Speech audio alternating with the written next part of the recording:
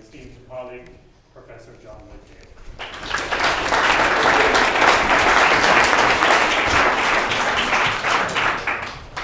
Thank you very much, uh, Martin. It really is a pleasure to be here. Alan and I were just uh, uh, thinking back to the last one of these talks that we, uh, that we gave, which um, we think was in 2011, uh, which was in the midst of the, the crisis. Uh, so that also was a very challenging time, but certainly we're facing uh, different challenges now. So really our brief uh, this evening is to um, not really to provide the answers. I think anybody uh, who says they have all the answers in relation to Brexit and Trump uh, really isn't paying attention, but to uh, raise some questions and, uh, and be provocative. Uh, and the, the, the, hope is uh, that then we will have a, a, a, very good discussion. So I think the most important part of the evening will be the discussion part. I'm going to begin uh, by telling a bad economics joke. It's a slightly risque uh, economics joke. Uh, if, uh, you mightn't think that there could be such a thing, but uh, I think but, but there is. But, but, but uh, I'm going to follow Martin's example and, and, and take the chance. So this little boy has been hearing a lot about the economy and economics, and he has no idea what it's all about. So he asks his dad, you know, what is this, this economy uh, I keep hearing about? Uh, and his dad, now his dad is a little sexist, I should, uh, uh I should warn you uh, in advance. Uh, but any, and also any similarities to a recently elected world leader is completely coincidental in this. but his dad, you know, thinks for a bit, and he says, the economy is like this household. I provide the money, so I'm capital. Uh, your mother there directs the staff, so she's management. Uh, the maid that does all the work, uh, so she's labor. And you see your little baby nephew over there, he's the future. So the little boy wasn't very happy with this, particularly the bit about his nephew being the future, but he accepted it. And he went to bed that night, but he was woken up by a terrible, terrible racket uh, coming from his uh, little nephew's room. So we got up uh, to investigate. So first of all, he went to his parents' room, but his dad wasn't there, and he tried to wake up his, uh, his mother, uh, but he couldn't wake her up. And then he went down the, the hallway past the maid's room, and he saw his dad in the maid's room, entertaining the maid, uh, let us say. and then he finally went into his little nephew's room, and he found out what the problem was that his little nephew was in bad need uh, of a nappy change. So he said to himself, what kind, of a, what kind of an economy is this? Management is asleep on the job, capital is screwing labor, and the future stinks. So, so hopefully our future uh, uh, doesn't stink. And I'm actually going to start off uh, with, uh, to some extent, uh, the, the good news uh, in terms of the, the Brexit Trump effect on uh, what forecasters uh, are um, uh, predicting for, for Irish growth. Uh, and here um, I'm looking at uh, uh, forecasts made by the, the central bank at different points in time. Um, going back before we thought that Brexit was going to happen and Trump was going to be elected, uh, so back in April of last year, I think both of those events looked unlikely. And just seeing uh, the subsequent uh, forecasts since, uh, I'm using the central bank because they came out with new forecasts for the, uh, uh, for the economy just last week. And I'm particularly looking at the forecasts they're making for, for 2017. So the forecast for 2017, this is real GDP growth, was 4.2%. Uh, back uh, in April of last year. And it certainly has come down over time, uh, and I think this, in part, is reflecting uh, particularly Brexit. Uh, I think uh, the Trump effect has really shown up, uh, and the prediction for growth for 2017 is now 3.3%. But it's not really as if the bottom has fallen out of growth, um, the growth forecasts, but there, there certainly has been some decrease. But if we look at the forecasts uh, really for the labour market, and here we're looking at the forecast for the unemployment rate, actually the forecast unemployment rate for 2017 is actually lower now uh, than it was back uh, in April uh, 2016. And you could say that this is actually quite conservative.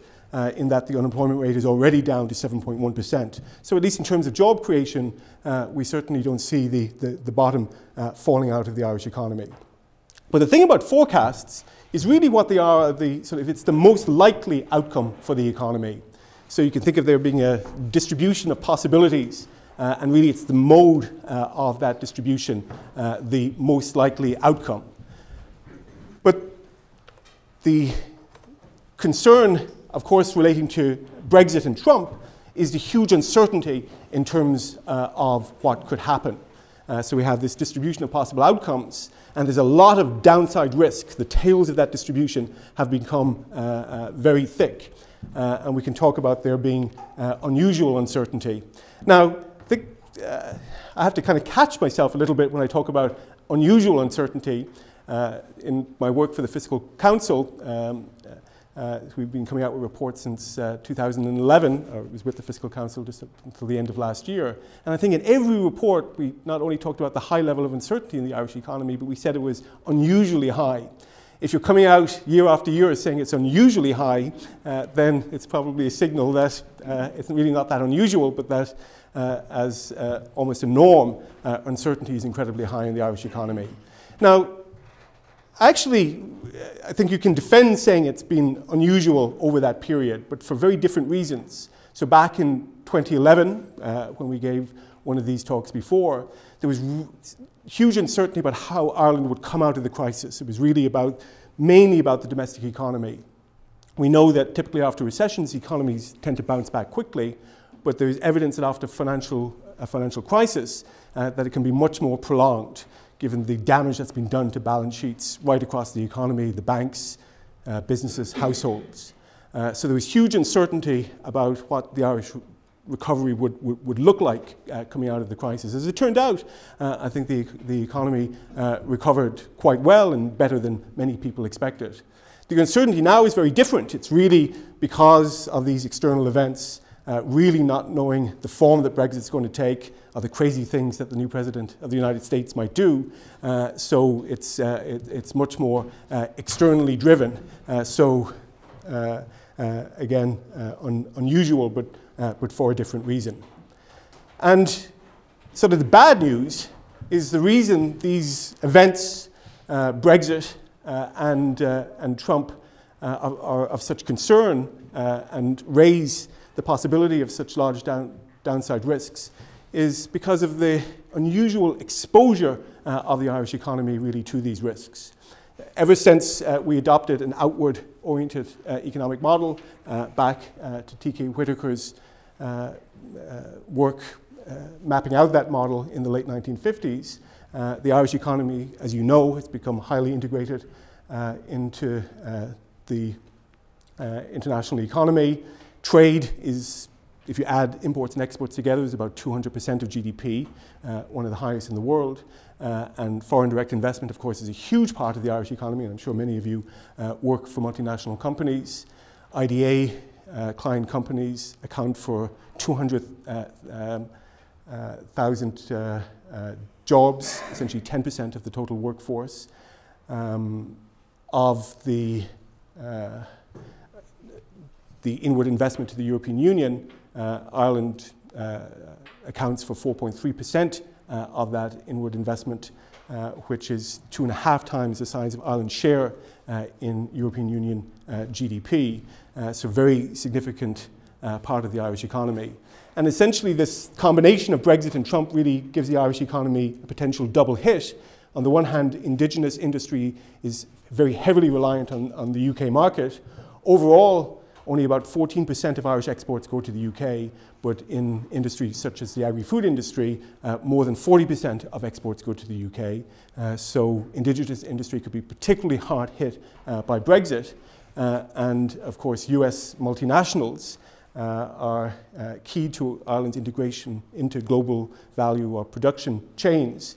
And even though some people deny the importance of Ireland's corporation tax regime and how it uh, complements uh, the US corporate tax regime, uh, I think the corporate tax regime is a significant part of Ireland's competitive advantage. So there are significant risks. So we have Brexit and we have Trump. I'm going to put two more uh, potential risks uh, and just get your thoughts on how you would uh, rank them. Uh, I'm going to throw in Europe uh, uh, and particularly risks surrounding the Eurozone. And the risks relating to Europe are both economic and political. on the economic side, I think Italy and its problems stand out, both its debt to GDP ratio of about 140 percent, and also problems in its banking system, uh, potentially a huge risk uh, to the Eurozone uh, and potentially an ex existential risk uh, to the Eurozone. And we've seen very significant political tensions uh, in the European Union, in, Union as well, with strong nationalist anti-EU forces in, in countries like France, the Netherlands, even Germany, all of which are having uh, elections this year. So Europe is a source of risk. Uh, and I'm going to throw in one more, uh, and this one uh, is one that you may, might not have thought of, but I think it is, is actually quite important. Anybody know who that gentleman is?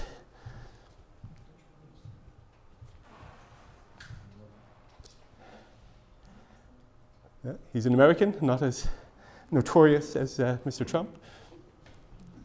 So he's actually, his name is uh, Larry Summers. He was uh, the Treasury Secretary uh, under President Clinton and the chair of uh, President Obama's Council of Economic Advisors past president of Harvard University. The reason I put him up is that he's, he's popularized this idea recently of secular stagnation, which is that we've entered into a period of slow growth.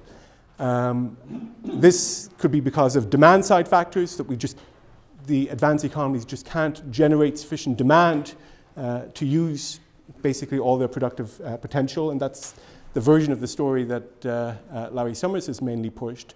But there's also a supply side version of the story, uh, and that is technological development uh, is producing much less growth than it did in the past.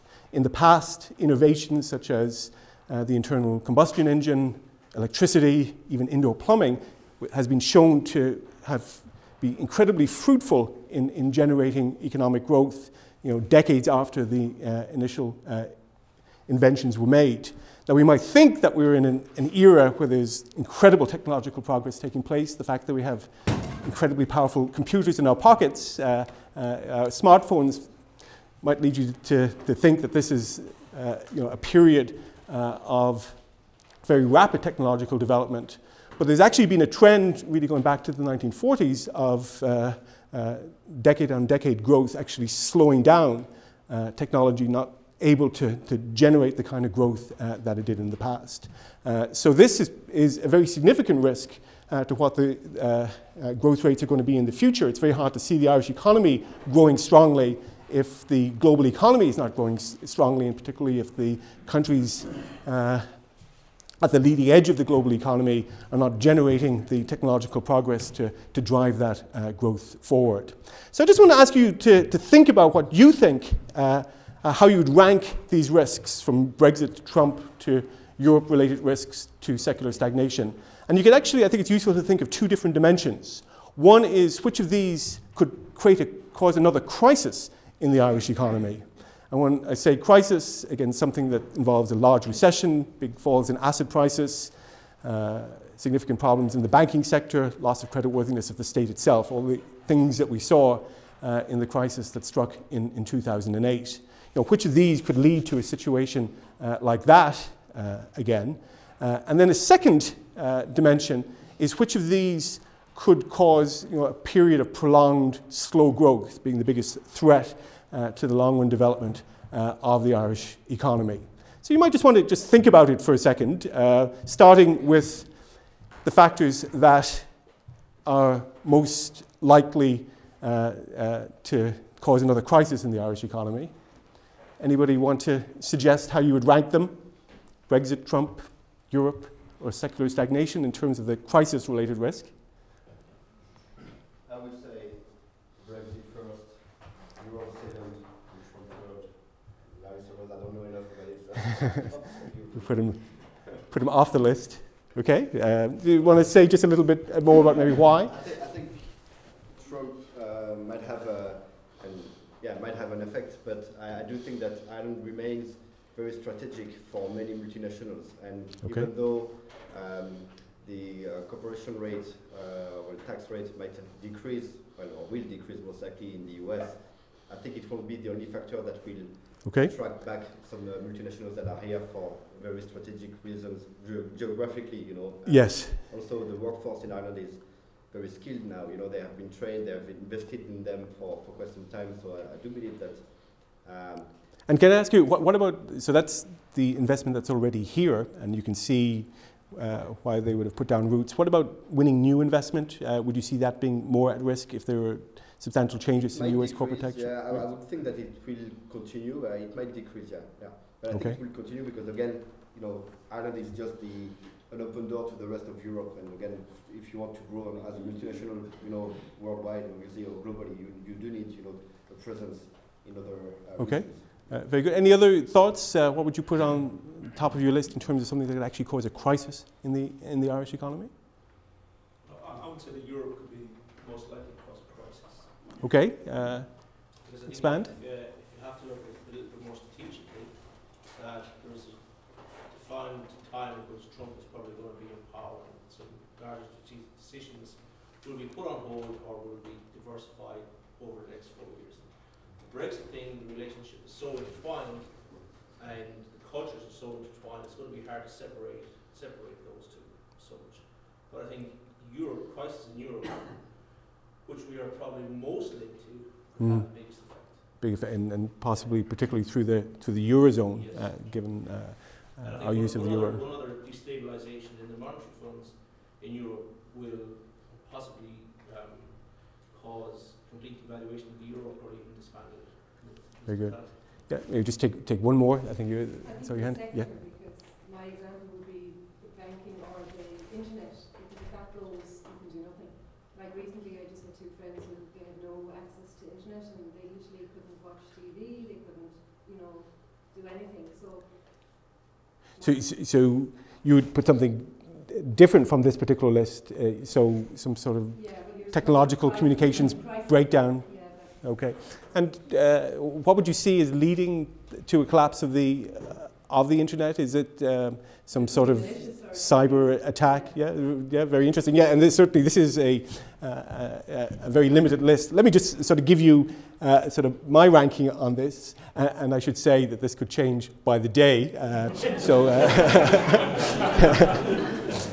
uh, and so I actually did put Europe on top as well, because again, if you, if you think about what actually cause a crisis, you know, it's hard, uh, it's not impossible to sort of imagine Brexit and, and, and Trump uh, sort of leading to the kind of crisis that we, uh, that we had back in 2008. Uh, but certainly problems that led uh, to concerns about the uh, continued viability of the Eurozone and, uh, and the Euro currency itself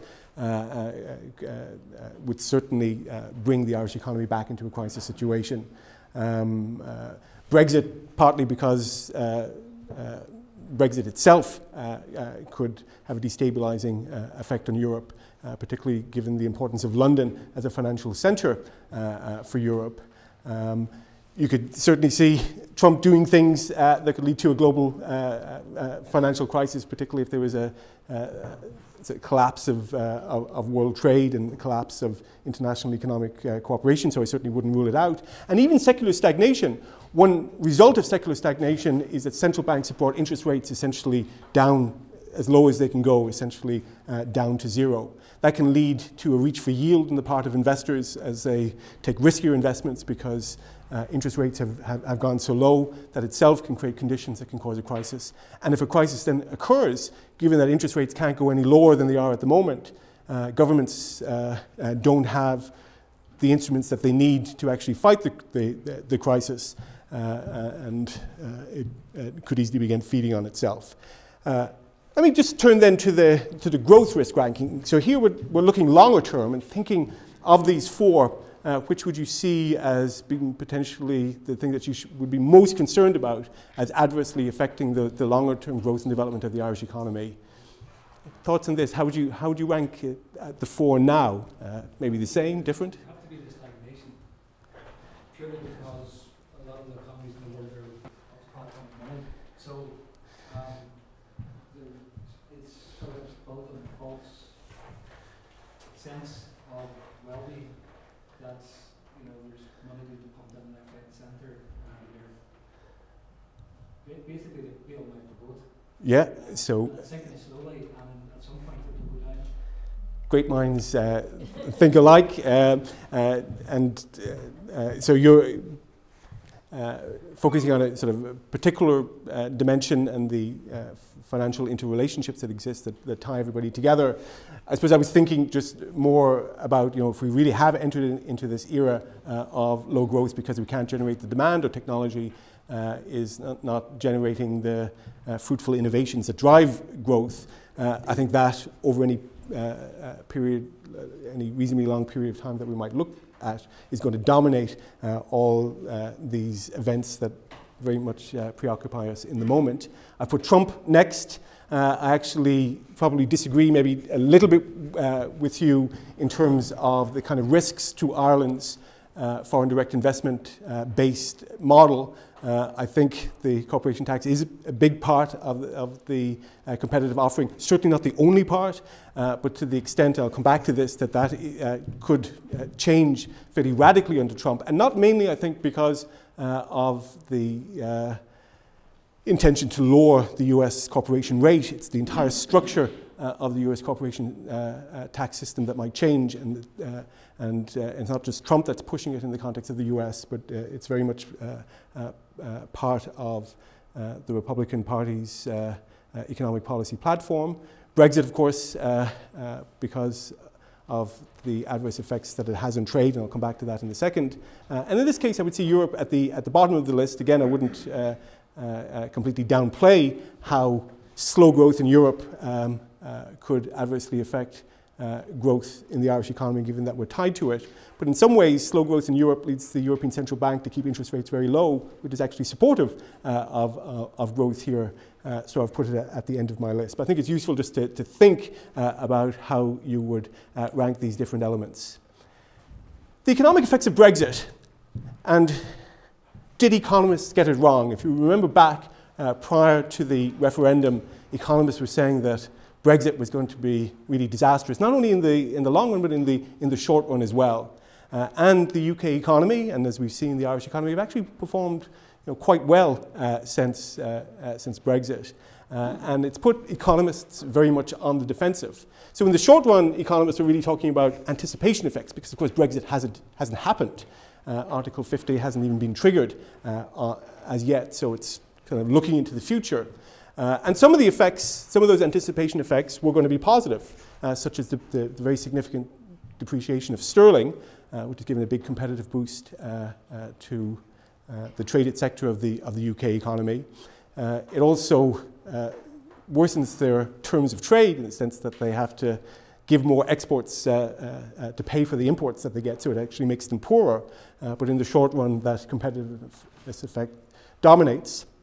If there's lower long run income as a result of Brexit, that should make people again feel poor and it could lead to lower consumption in the present. That should be negative. But the big thing that people thought was going to happen was that the uncertainty related to Brexit uh, was going to cause a lot of postponements of investment. Uh, and that investment is a very uh, important source of demand, uh, and that would slow uh, the, the, the, UK uh, economy. And that was considered to be the big one and to be negative. And that really doesn't seem to have happened to the extent that the economists uh, thought it would. Then there's also some questions about what the policy response was going to be, uh, what particularly the Bank of England were going to do, and what they did once Brexit happened is that they really lowered interest rates, uh, and that uh, was positive for the UK economy, and I think partly explains some of the strong performance. But, it, but economists do seem to have got that wrong, and there's still some uh, puzzles about that. But that shouldn't, I think, take away from where the most agreement uh, uh, existed amongst economists. That was the negative long run effects of Brexit. Uh, and this is really based uh, on uh, a body of evidence called gravity models or gravity equations. and this just looks at empirical evidence of the bilateral trade flows between either countries or, uh, or different regions. And the reason they're called gravity models is that it predicts that the greater the economic mass given by the product of the GDPs uh, of the two uh, regions or countries, uh, the, the greater the trade will be. And trade is inversely proportional to the distance uh, be, uh, between the two entities. Um, but also, it shows that borders can have a huge effect on the amount of trade that takes place. Uh, and a classic study actually looked at trade both between Canadian provinces and between Canadian provinces and US states, and then between US states. And so once you controlled for the economic masses and the distance between the different trading partners, trade, at least in the early studies, trade between two Canadian uh, provinces was 22 times greater than, than trade between uh, a Canadian province uh, and a US uh, state.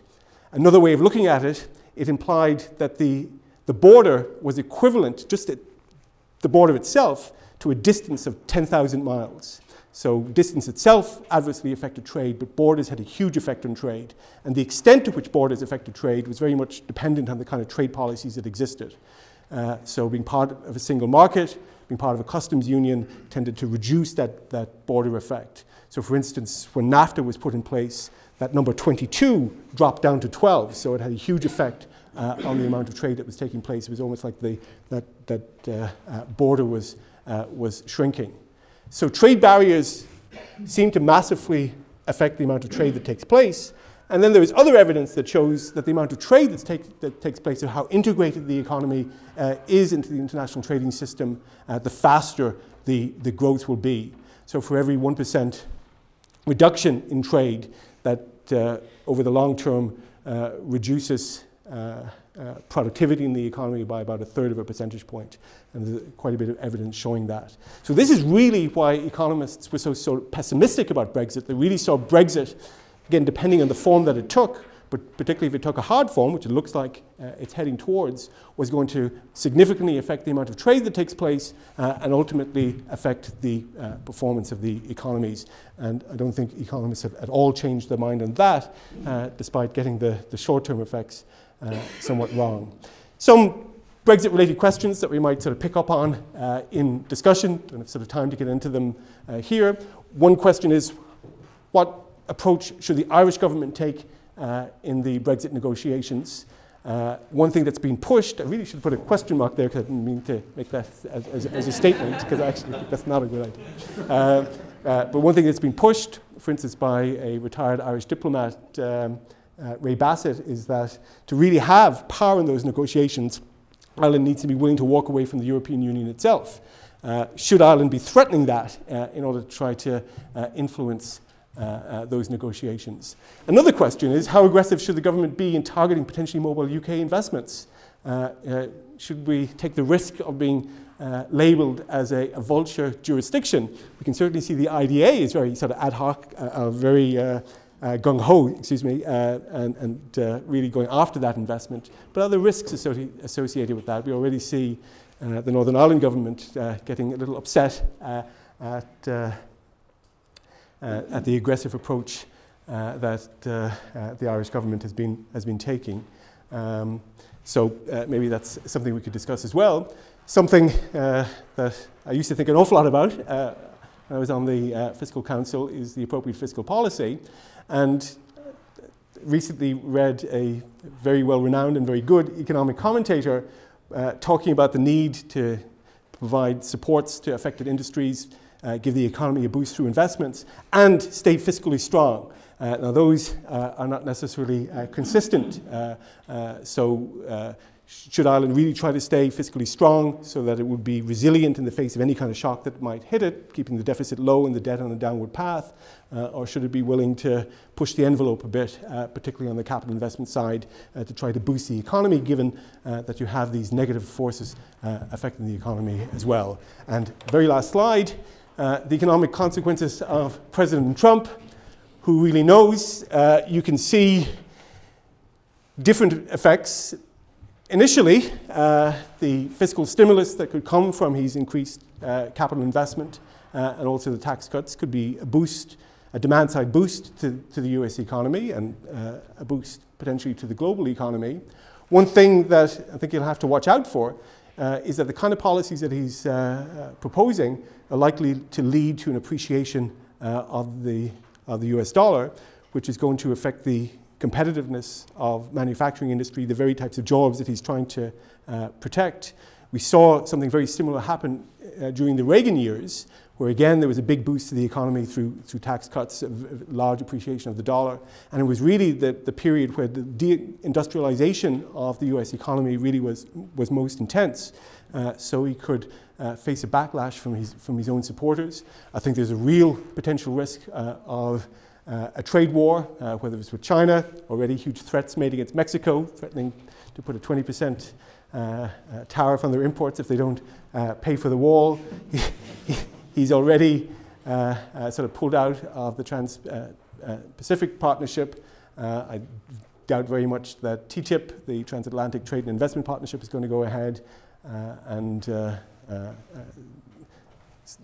NAFTA, which also in, includes Canada, and we've already talked about how NAFTA really supported um, the increase in trade on the North American uh, uh, continent, uh, that's at risk as well.